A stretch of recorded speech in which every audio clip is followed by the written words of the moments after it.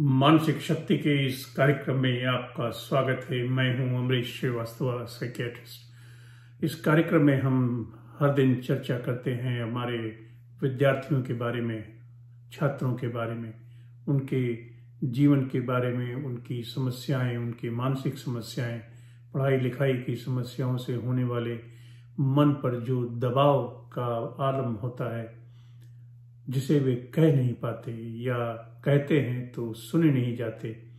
ऐसी कुछ हल्की फुल्की बातें होती रहती हैं, लेकिन हमेशा ये बातें हल्की फुल्की नहीं रह जाती। छात्रों की समस्याएँ बढ़ती जा रही हैं और वे कदम कदम पर नए नए तरह की चुनौतियाँ पेश कर रहे हैं। हर दिन कोई ना कोई खबर आती है कि कहीं पर कोई आत्महत्या का प्रयास करता है तो कहीं कोई मानसिक रूप से डिप्रेशन में एंजाइटी में साइकोसिस में अल्कोहल भाँग, नशे के आलम में पाया जाता है। ऐसा नहीं है कि ये समस्याएँ पहले नहीं थी, लेकिन इनका ये स्वरूप इतना बड़ा नहीं था और ये इतनी बड़ी समस्या उत्पन्न कर सामने नहीं आई थी। कारण अनेक हैं, लेकिन उनके, उन कारणों में जाने के पहले हमें ये जानने की आवश्यकता है कि ये समस्याएँ क्यों सामने आ रही हैं और इसके लिए क्या किया जाना चाहिए। एक बहुत बड़ा वर्ग ऐसा है जिस, जिनके परिवार में समस्या होती छात्रों की समस्या, परिवार की समस्याओं का प्रतिबिंब भी कहा जाता है।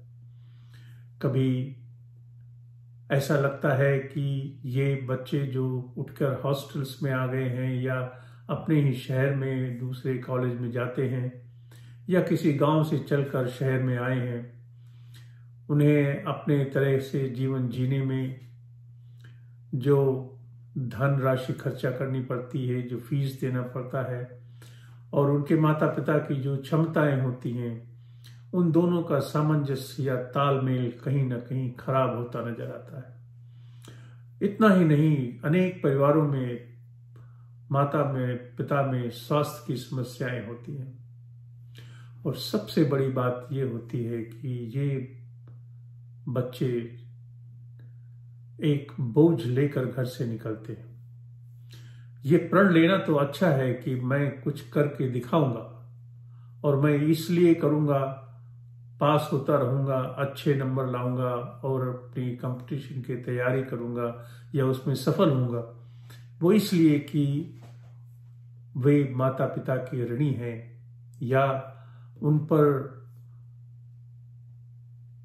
इस बात का दायित्व तो है कि वे अपने आप को सफल सिद्ध करें। क्या वे ऐसा सोचते हैं कि उनकी जो भी वर्थ है, या जो भी उनका, उनके जीवन का निचोड़ है, वो सिर्फ़ इतना सा ही है कि उन्होंने अपने माता पिता के बताए गए रास्ते पर चलना निश्चित किया है। मामला इतना आसान नहीं है। चीज़ें उससे भी कहीं ज़्यादा जटिल हैं। और ये जटिल क्यों हो गई हैं? ये जटिल होती हैं संवाद के न होने से, तनाव के बारे में बातचीत न होने से, तनाव कम करने के रास्ते मालूम न होने से, दोस्त कम होने से, सामाजिक लगाव कम होने से, एक दूसरे में घुलना, मिलना, एक दूसरे को समझना, ये रीतियों में शायद कहीं कुछ कमी आई है, समाज में परिवर्तन आया है। इसलिए जिस बोझ को लोग पहले मिलजुल कर उठा लेते थे, अब वह एक सर पर समा गया है। और इसलिए वो बोझ बहुत ज़्यादा दिखाई पड़ता है।